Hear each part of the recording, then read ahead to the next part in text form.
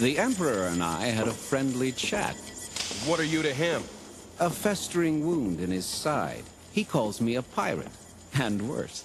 I think he's right. Perhaps. But today, I'm D'Ken's best friend. Today, I'm selling him the M'Kraan crystal. You can't do that! Don't you know that if that madman unleashes the power of the crystal, it could destroy the entire galaxy? D'Ken will never touch the crystal. Because you are going to end his miserable existence.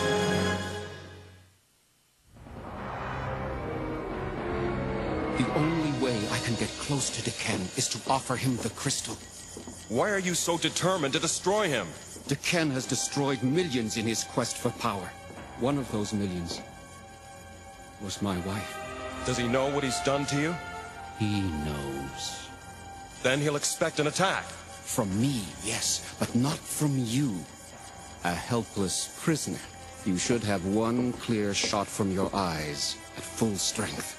I won't take a life in cold blood. If D'Ken lives and gets his hands on the crystal, and eventually he will, billions of lives will be lost. Is your sense of honor worth so much? Is one woman's life important enough to risk the fate of an entire galaxy? It was to me.